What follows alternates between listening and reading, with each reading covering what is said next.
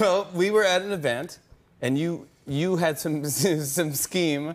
Uh, you were being uh, crazy, and you wanted to dance with Jen- Jennifer Lopez, Yeah. and you wanted me to go over and dance with her too. Okay, we came up with this idea together, first of all. We both saw J-Lo. This is like 10 Jello shots in. And I've never done Jello shots. I They didn't go good, to right? college. Yeah. Yeah. they were great. Thank you. And so we were dancing. We see J-Lo, and we're like, well, we gotta ask Yeah. J-Lo to dance. And so we were, I was like, okay, so Kanye what we'll West do is playing. we'll do a spin, Yeah. and then we'll go dance with us. Like together. No, we did a thing, yeah. Yeah. We had a thing, we had a routine. then- We had a routine. We are both gonna spin. Yes. But then we were thinking about because because J Lo was behind us, Yeah. right? Yes. She was over there, and and- but we were trying to work out her moves without showing her the moves.